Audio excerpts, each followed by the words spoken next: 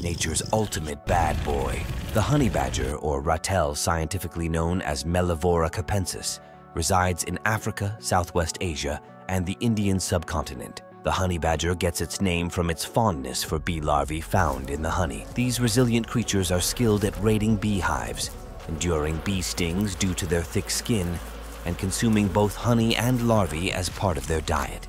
The honey badger is primarily a nocturnal creature, but its legendary adventures often take place in broad daylight. Despite its small size, the honey badger is known for its ability to take on much larger predators, including lions, hyenas, leopards, and wild dogs. Their thick and loose skin allows them to twist and turn, making it difficult for predators to grip or bite vital areas. Animal bites and even porcupine quills rarely penetrate their skin,